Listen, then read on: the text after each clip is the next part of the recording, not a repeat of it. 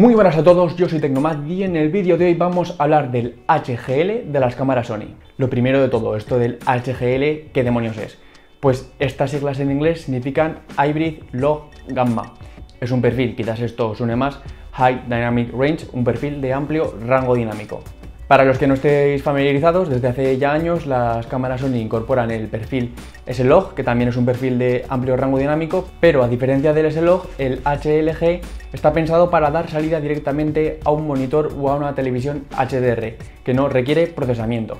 Cámaras de vídeo profesionales como la Sony FS5 o la Sony FS7 ya incluían este perfil HLG, pero desde la última generación de cámara Sony Alpha, de cámara Sony sin espejo, ya tenemos este perfil HLG.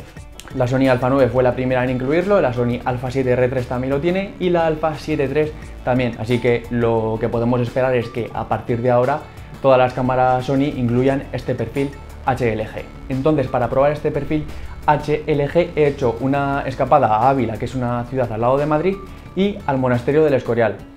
He tenido tormentas y chubascos, lo que me ha permitido sacar unos cielos muy interesantes para probar este perfil HLG. Así que sin enrollarme más, vamos a ver ya los vídeos.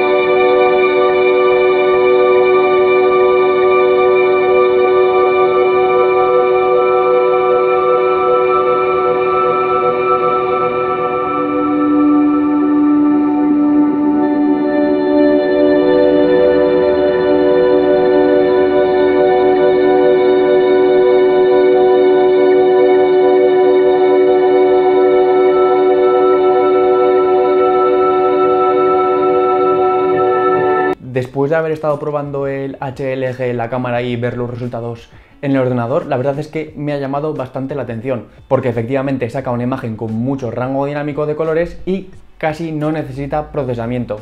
Esto ya depende de los gustos, a mí sí que me gusta darle una última edición del color para dejarlo como a mí me gusta, pero los resultados son prácticamente usables sin tener que pasar por el ordenador.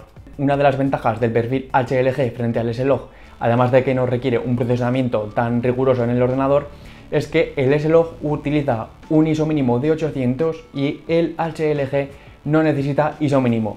Esto viene muy bien cuando vamos a grabar en condiciones de mucha luz porque es mucho más fácil ajustar la exposición cuando usamos un ISO bastante más bajo. Aprovecho para deciros que para tener una adecuada exposición en este HLG tenemos que poner la exposición un paso por encima de lo normal.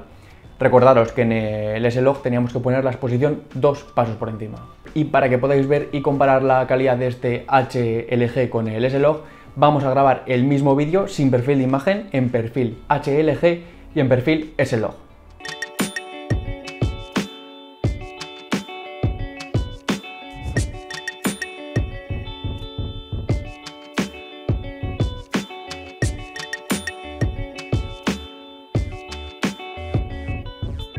Si comparamos los tres sin editar, efectivamente el HLG tiene un rango dinámico más amplio que el que no tiene perfil de imagen, pero eh, el S-Log sí que tiene un mayor rango dinámico que el HLG. Y por supuesto el HLG, como estamos viendo, pues apenas requiere un procesamiento porque ya da una calidad de imagen y de colores bastante buena. Sin embargo, si editamos el color, aquí ya vemos que el S-Log pues, es capaz de sacar mucha más información de las altas luces y de las sombras. Para mí chicos, este perfil HLG no es tan profesional como un S-Log 2 o un S-Log 3 que hemos visto que tienen mucho más rango dinámico. Para mí y en mi caso, este perfil HLG vendría a sustituir al perfil estándar. Es muy fácil de utilizar en la cámara y como hemos ido diciendo, no necesita un procesamiento en ordenador. Me parece un perfil de imagen muy útil para todas aquellas personas que vayan a grabar vídeos familiares, que se vayan a grabar videoblogs y que no tengan que estar mucho rato en el ordenador haciendo edición. Así que si tenéis cualquier duda sobre estos perfiles, dejádmelo en los comentarios. No olvides suscribirte. Yo soy Tecnomaz y nos vemos en el próximo vídeo.